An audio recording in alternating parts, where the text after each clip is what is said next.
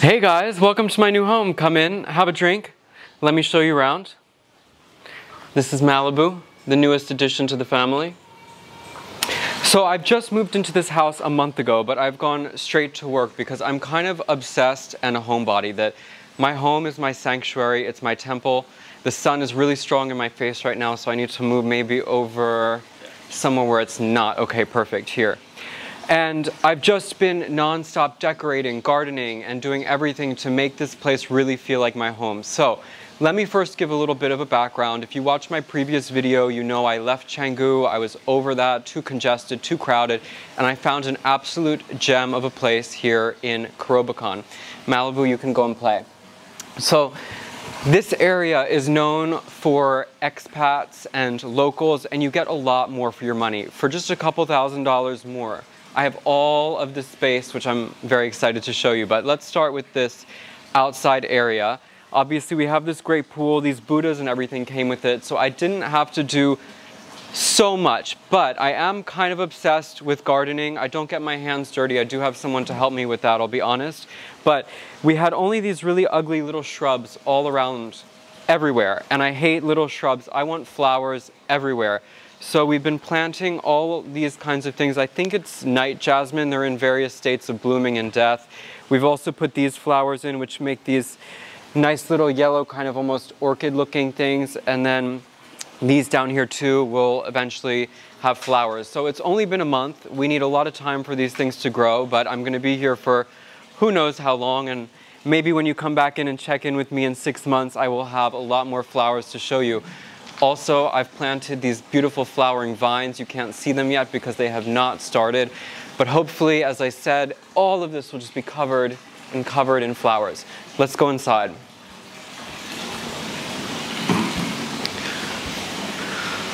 All right, all that talking already, I need a refreshment. Mm. What I love about this place is that very rare in Bali to have indoor living. You will find so many villas that basically the only thing that's inside is your room and everything, all of the kitchen area, living room area, if there is one, which can be hard to find as well, will be outside. And I'm someone who is deathly afraid of bugs, especially spiders. I cannot have this fully open living all the time. I want to be able to close this and be feeling safe from nasty critters at night. But during the daytime, it's lovely to have everything open because you get in a beautiful breeze, and when my flowers are blooming, there will be a nice wafting scent of jasmine. So a lot of the furniture already did come with the house, and the house has good bones, so I've just kind of done some aesthetic changes. This was already here, didn't need to do anything with it. Not my favorite wood, but I don't have dinner parties right now. I hardly have any friends, to be honest, so that's okay. One of the cosmetic changes I made here in this living room area was changing these throw pillows. So they were really hideous before this tropical, I can actually show you because you wanna know a secret, is that they're hidden just underneath the pillow. You'll see how ugly, look at this. I can't live with a pillow that looks like this. So I went just down the street and I had all of these custom made for me and it was actually really cheap versus going to a retail store where they do the markup like three times. So just that little aesthetic change of the throw pillows I felt like added a lot of class to this place. But one of the absolute first things I did when I came in here was I changed all of the ceiling fans. So I'm gonna show you what the ceiling fans looked like because I kept two of them, the ones in the rooms where I don't have to look at them as much.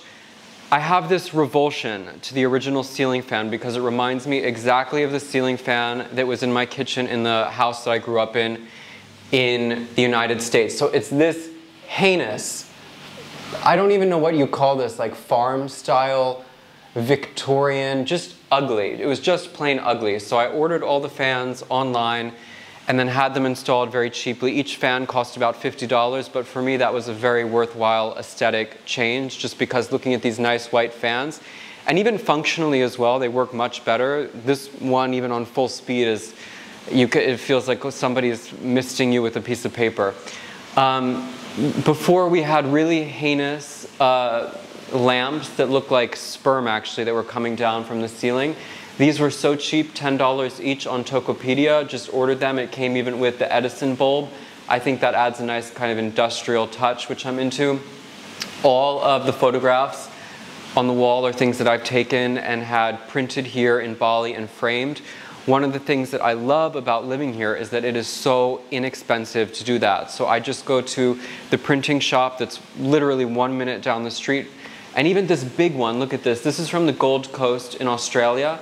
That cost me about $10 to print on really nice matte photo paper and to frame it maybe $20, $25. I don't even know how much that would cost back in the United States, but I'm sure it would cost 10 times that much. So I'm still in the process of printing some other photographs. I'm gonna have one hung here soon. I love this one. This is my most recent of this Balinese man smoking a cigarette during a ceremony, and clearly nobody is that concerned about coronavirus. In the kitchen, I don't actually cook, so while having an oven and a big stove top like this is quite a rarity, it is a little bit lost on me. So if anybody wants to come over and cook me dinner, this is here, but it won't be used by me. And then you saw a sneak peek when I showed you this hideous fan, but let's go back into what I converted into my office. So this actually used to be a bedroom, but I had the owner take out all of the furniture. There was a bed in here. I don't even know who would want to sleep in such a small claustrophobic room. But anyway, I converted this into my office slash photo studio.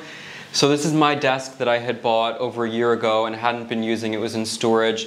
This is where I do my work in the morning. I have my photography equipment on this thing and right now this is also Malibu's little bedroom just because he can't hold his bladder for more than 30 minutes and so he needs to be in his little space. Also he cries so much. And this is the outdoor bathroom area that can be either for guests or would have been for that other bedroom that's downstairs, but it's just kind of this nice open space. I'm not a big fan of outdoor bathrooms, but luckily I don't have to use this one, but it is an option for, I don't know, anybody, I guess, and it has a shower, it has a sink. I do use the sink sometimes and the toilet, but let's go and continue our tour, shall we? The other little touches I think that make a house a home, I love orchids. It's my favorite flower, so you'll see them twice around here. I've also been buying some house plants.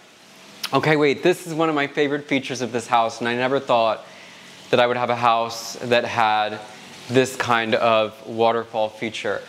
Now, if I did not have a three-month-old puppy that was crying all the time, I would be meditating here with this lovely sound of the waterfall, but instead I can hardly ever get 15 minutes of peace with two dogs in the house.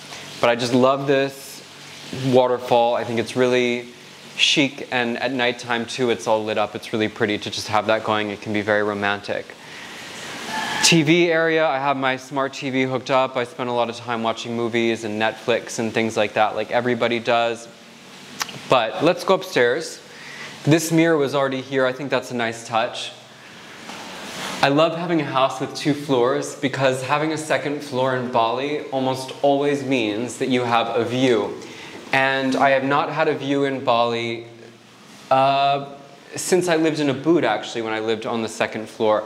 But being able to see a horizon makes such a difference in your overall mood and happiness I feel like every day because even where I was living previously, I just was always looking at a wall. Even though there was the pool, then there was the wall right in front. But now, this is my view from the second floor. I'm so happy, even just to look at this out right now, I'm smiling because look how beautiful these frangipani trees are here.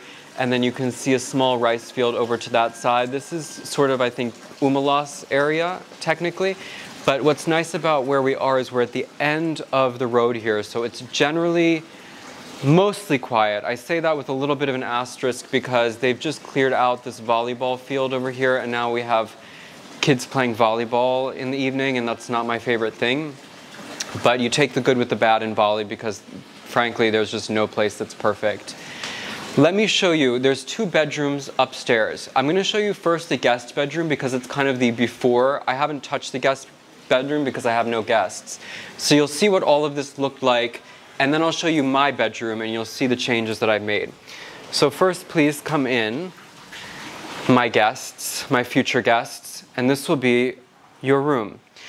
you can see everything is okay. Some pretty cheesy artwork on the wall that is not my favorite. Um, and just kind of some basic furniture that in my room I had taken out and replaced, but I'll show you that. Now these two bedrooms are completely identical. They both have ensuite bathrooms and for me, you'll see in mine as well, but the all-important feature being that it has a bathtub. I'll show you that in my bedroom. You don't need to see the ugly guest bedroom.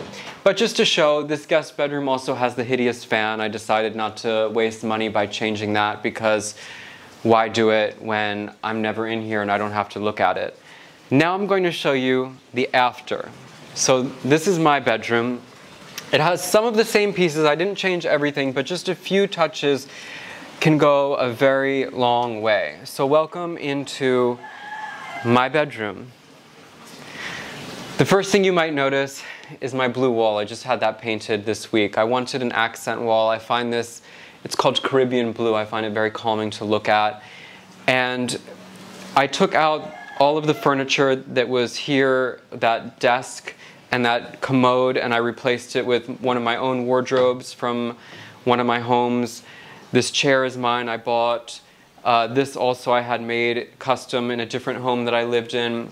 So these little touches along with my 70s shag rug that my dog loves to lie down on. I always have fresh flowers. These are the kind of things that for me make my bedroom feel like a little palace. And so as I said, uh, same actually dressing. I have a lot of space for my clothes, which for me is important because I just have a lot of clothes and lots of space. I can't even reach up here, so I'm sure that once I have a surplus, I still have storage. And then the bathroom is simple but has everything that I need. It's not as glamorous a bathtub as I had in my previous villa, but the nice thing about it is that it actually does fill up all the way with hot water pretty quickly. A separate shower and even a, you know, a decent view as well from the bathroom itself and then just this big nice area for products and a vanity very important for me because I do have a lot of stuff and I'll show you now the very last feature of this home which was something that when I looked at I just thought you know can I can I give up this house? Can I not take it? You know, because I was on the fence. Do I need such a big place? Do I want to leave Canggu? Blah, blah, blah. But look at this. In addition to everything that we've seen so far, we also have this extra lovely lounge seating area up here. So this commode is from what was in my bedroom. We moved it out here. I'm in the process. As I said, everything is still an ongoing process, but I'm in the process of adding more house plants everywhere. Over here, where you're standing, I'm gonna have a, some kind of big, beautiful tree, maybe a bougainvillea or something that has flowers. I just feel like we can do a lot with this space that is right now not utilized. But it's really nice to sit up here, especially you can see the sunset when you're lounging and my dogs like to relax here as well with me. And you just think, oh, it's so nice to live in Bali when you're up here. And that's the whole house. I'm really happy with this move. I've been here only one month but I signed a 12 year, 12 month lease, I should say, 12 years, my God, I can't even think that far in advance. But a lot of times with houses like this, you do have to pay the whole year in advance. In my case, I was able to negotiate a split payment, but I'm paying just about 10,000 US dollars a year for this incredible house. And again, that is the coronavirus price. This place would be more expensive in normal times, but there's a lot of availability right now on the market for housing like this, and there's not that many people that have the cash flow to put down $10,000 at once like that to rent a whole house.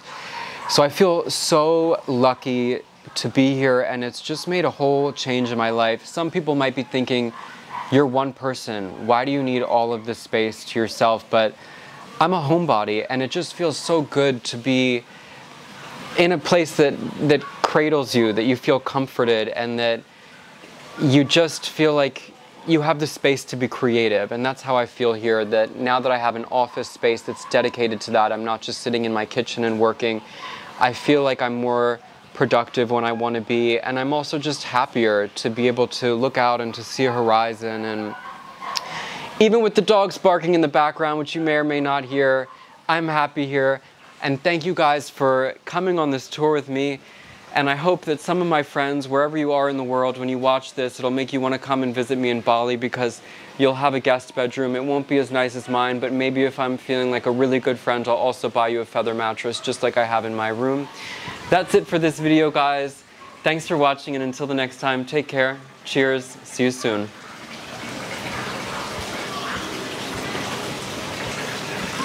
How's that for one take?